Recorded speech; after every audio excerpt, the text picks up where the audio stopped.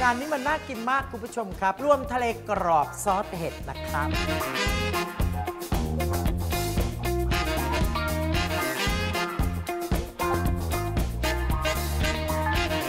น่าทานมาก